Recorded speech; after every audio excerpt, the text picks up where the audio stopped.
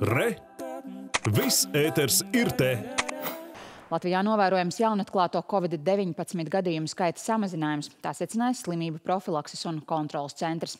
Aizdītajā nedēļā inficēto skaits sarucis gandrīz visās Latvijas pašvaldībās, un arī slimnīcās hospitalizēto pacientu skaits nedaudz samazinājies.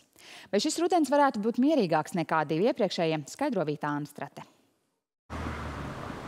Ārā valda rudenīgs laiks un katru dienu saņemam ziņas par jaunatklātiem Covid-19 gadījumiem. Piemēram, vakar saslimšana atklāta vēl 985 cilvēkiem. Tomēr kopumā slimības izplatība sabiedrībā ir kļuvusi lēnāka, secina epidemiologi. Piemēram, pagājušajā nedēļā kopā, salīdzinot ar septembra nogali, jaunatklāto slimības gadījumu skaits sarucis par 16,6%. Tāpat laikā oficiālajā ikdienas statistikā visi sasirgušie neparādās.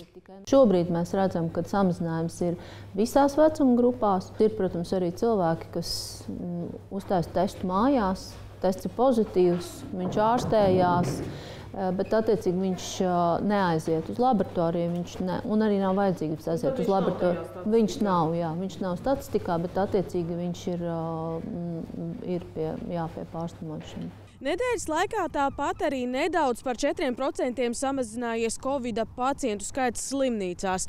Piemēram, šeit vadošajā Rīgas austrumu slimnīcā šodien ārstējas 80 cilvēki, kuriem diagnosticēts Covid-19.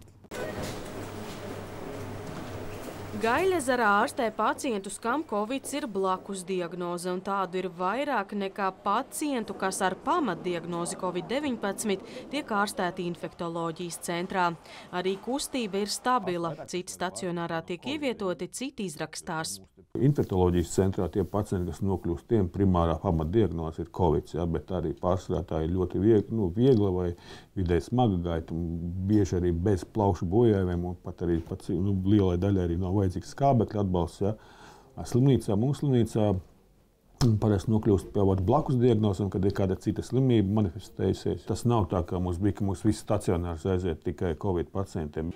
Gultu skaits esot vien nedaudz palielināts, un arī tās visas nav aizpildītas. Turpmākajās nedēļās saslimšanas ar augšējo elpceļu infekcijas slimībām visticamāk pieaugs, bet speciālisti Austrum slimnīcā šogad lielākas bažas pauž par gripu, ja vien Covidam neparādīsies kādas jaunas mutācijas.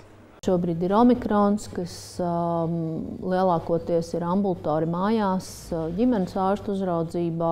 Tad līdz slimnīcai attiecīgi nonāk uh, tie smagākie gadījumi.